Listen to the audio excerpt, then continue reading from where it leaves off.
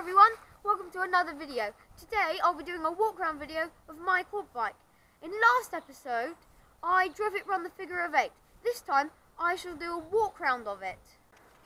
So this is the quad bike. It has a 125cc engine and it will max out around about 45 miles per hour. It's great fun to drive and it loves to get the back end out. What I'm going to do now is start it up and show you a little bit of what I do.